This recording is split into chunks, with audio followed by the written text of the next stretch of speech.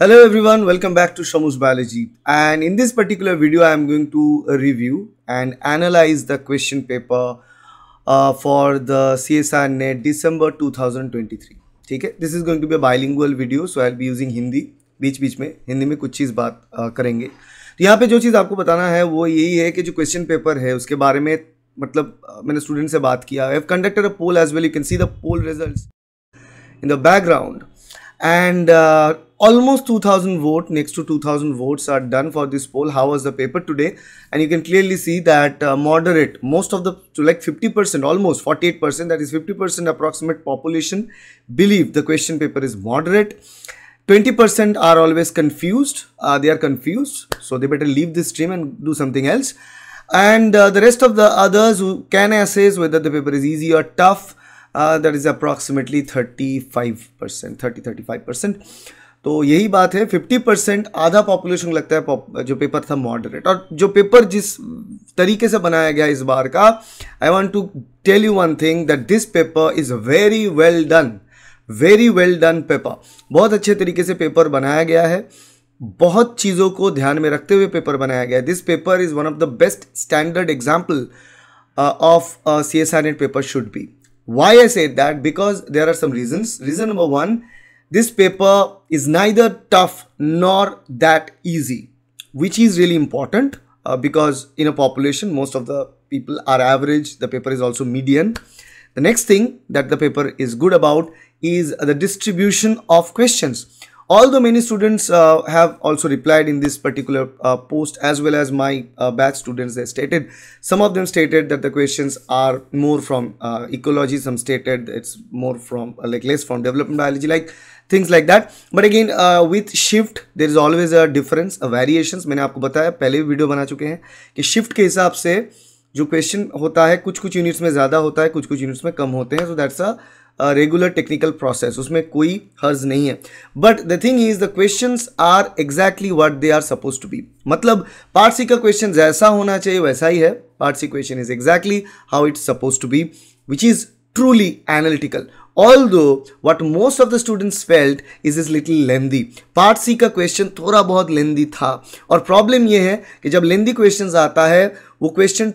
total visible nahi hota the question is not totally visible while you are attending the question in the exam hall so in that case it might get some time to scroll inside the question and see things and that can disturb your chain of thought तो ये एक problem थोड़ा बहुत ये पहले मतलब सी S R net की ये प्रॉब्लम चलता आ रहा है during and start of the CBT mode. But the question is little lengthy, means you need to read and invest some time in order to read and gain information from it. That's what I felt about part C, but the questions are not tough They are good they are analytical. Second is in, in part b the questions supposed to be direct but there are element of concept incorporated to those questions. जी हाँ part B की जो question है वो direct एकदम very simple type का नहीं था। कुछ कुछ क्वेश्चंस में डायरेक्ट के साथ साथ मेमोरी के साथ साथ आपकी कॉन्सेप्ट को भी अप्लाई करना था। I like this thing about part B that's why many student reported part B this time was a googly part B this time was really uh, something uh, different but no it's not different think of it if you are a person who understand a concept very well if your part c goes very well then automatically you'll be attending more part b questions quite easily so this exam will reward a person with a strong foundation of basics a strong foundation of basic concepts of life sciences ठीक है जिसका basic concept अच्छा है clear है उनके लिए ये exam बहुत बढ़िया रहने वाला था बहुत बढ़िया गया है ठीक है? एंड अबाउट पार्ट ए ना in part A is exactly what it suppose to be although the numerical content in part A is little more than the obviously the reasoning part although ये fifty fifty होता है कभी कभी reasoning reasoning थोड़ा कम या fifty fifty होता है. So in this case reasoning is little less than the mathematical part of it But what I believe is that if you are a person who understood the basics, your concepts are crystal clear, which what we do in Shomos Biology Online Coaching, then part C is going to be very good for you. Part B is also going to be good for you. और अगर आप रट्टा मार के exam देने जाते हो in that case ये एग्जाम आपको निराश करेगा आपका स्कोर जो है वो इतना अच्छा नहीं होगा। Because most of the chunk of the question are from analytical and research methodology perspective research orientation perspective और यही बात है। और कुछ लोगों का ये कहना था कि पार्ट सी अच्छा तो था उसका क्वेश्चन समझ भी आ रहे थे, मगर